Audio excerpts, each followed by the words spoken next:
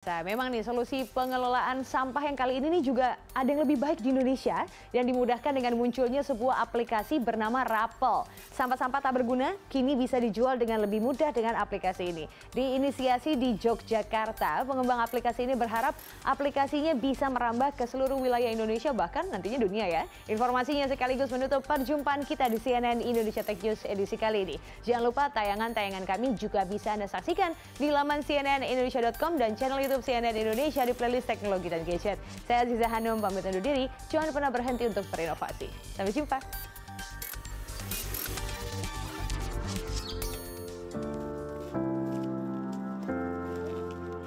Suryati kini tak perlu pusing-pusing mengurus sampahnya.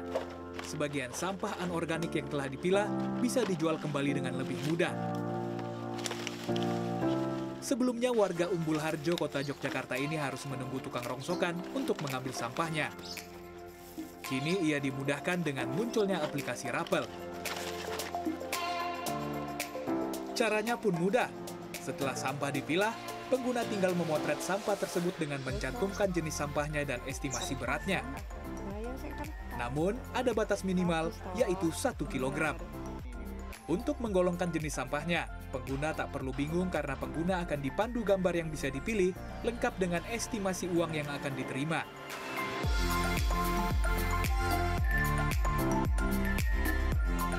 Setelah dikirim, kolektor sampah dalam radius 5 km akan menerima notifikasi.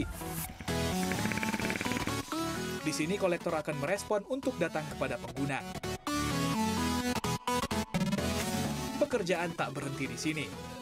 Di rumah pengguna, kolektor akan kembali menimbang sampah yang telah dipilah dengan menggunakan timbangan digital. Bila ada perbedaan berat sampah dari estimasi awal, kolektor harus mengubah di aplikasi sepengetahuan pengguna. Setelah disepakati, kolektor membayarkan uang sesuai berat dan harga yang tercantum dalam aplikasi Rapel. Dengan aplikasi ini, sampah di rumah akan diambil kolektor dengan cepat dan biaya yang sudah ditentukan saya sudah kenal dengan Rapel ini, alhamdulillah banyak kemudahan-kemudahan yang kita dapat. Di antaranya ketika saya dengan apa ya, dengan keadaan uh, bank sampah di sini kan tidak ada tempat khusus untuk uh, nyetok barangnya, sehingga memang harus segera diangkut oleh perongsoknya. Tapi kan sekarang ada model Rapel ini, kita ada kolektor, ada saya sebagai usernya ya, kalau nggak saya ini apa ya lebih mudah seperti itu ketika saya posting dari gambar saya untuk segera saya kirim akhirnya sudah sampah sudah diambil langsung saat itu. Karena berfungsi menghubungkan antara pengguna aplikasi dan kolektor sampah, kemudahan pun juga dirasakan para kolektor sampah. Kolektor sampah kini tak perlu harus menyusuri kampung ke kampung demi mencari sampah untuk dijual kembali ke pelapak seperti sebelumnya. Kolektor kini hanya memonitor telepon genggamnya untuk mengambil sampah milik pengguna aplikasi. Selain itu, aplikasi ini juga menawarkan bonus yang lumayan bisa mengganti biaya transportasi. Oleh kolektor, sampah-sampah ini lalu dijual ke tukang loak. Secara pendapatan, kolektor sampah pun mengalami peningkatan penghasilan hingga dua kali lipat dibanding menjadi tukang rongsok manual.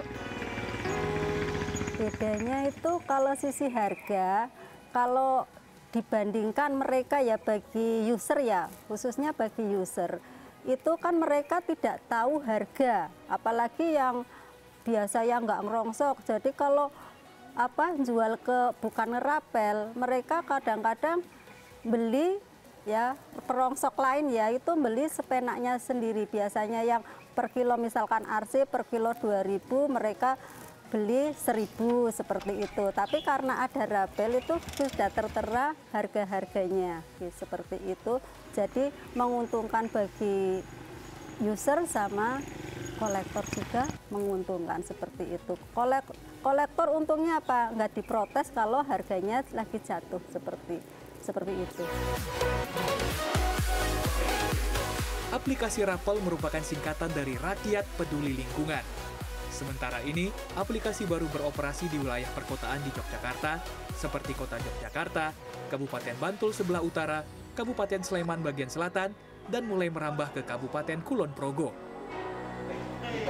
Salah satu inisiatornya, Sekti Mulatsi mengatakan, tak menyangka respon masyarakat cukup baik. Dalam waktu kurang dari dua bulan, Rappel telah memiliki lebih dari 900 pengguna dan 10 kolektor sampah. Bahkan ia telah menerima permintaan dari sejumlah wilayah lain. Aplikasi ini muncul karena kegelisahan di antara para aktivis lingkungan tentang pengelolaan sampah di Indonesia sejak 2015 lalu. Mereka berpikir seharusnya urusan sampah sudah bisa dikelola dengan baik sejak dari rumah dengan cara memilahnya. Mulai diinisiasi tahun 2018 dan diluncurkan setahun kemudian, aplikasi Rappel ini lahir dengan sebuah mimpi besar.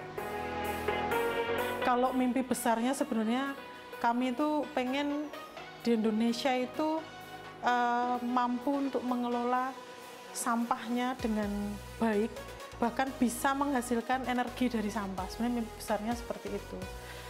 Uh, tetapi itu perlu proses kan. Jadi ini kayak rapel itu pertama kita harus uh, mengajak masyarakat dulu. Jadi sosialnya harus jadi dulu. Masyarakat diajak untuk memulai mengelola sampahnya dari rumah. Nanti kalau sudah terpilah antara organik dan anorganik, uh, organ, anorganik sudah terkelola dengan baik, organik baru mulai kita kelola, kita bisa membuat energi dari sampah seperti itu. Itu mimpi besarnya.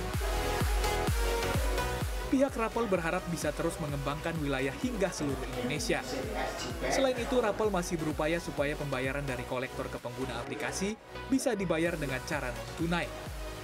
Demi menarik banyak pengguna, Rappel juga akan terus mengembangkan hingga aplikasi ini tidak hanya tersegmentasi pada pengguna Android saja, tetapi juga bisa dipakai oleh pengguna iOS. Tim Liputan, Daerah Istimewa Yogyakarta.